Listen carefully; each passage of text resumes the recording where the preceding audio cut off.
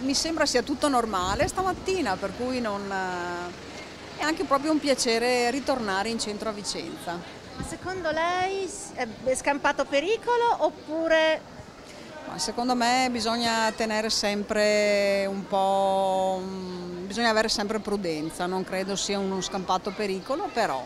Mascherine, distanza e, e normalità, ne abbiamo bisogno, no?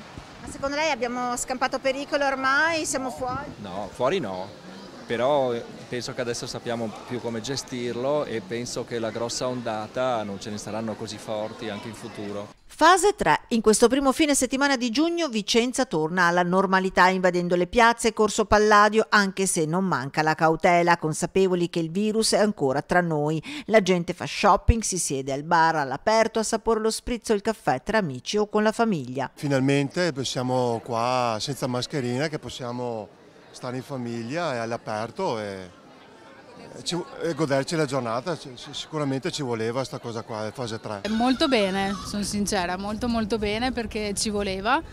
Ritorna alla normalità ma resta l'incognita delle vacanze, mentre il governo cerca di dipanare la vicenda frontiere con diversi stati europei che ancora non le aprono ai vacanzieri italiani, i vicentini sembrano avere le idee chiare. Italia, soprattutto Italia. Non abbiamo ancora deciso niente, ma sarà sicuramente Italia. Tendenzialmente penso in Italia, perché da una parte tutti non a casa vengono in Italia perché è il massimo, e poi perché credo che sia ancora un momento in cui bisogna stare un po' cauti. Rimaniamo in Italia perché comunque è sempre meglio rimanere nel nostro paese e speriamo che riusciamo ad andarci. Noi per sicurezza abbiamo prenotato in Italia.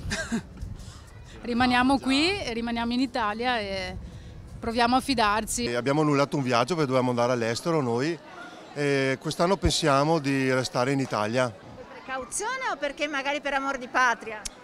Mm, tutte e due.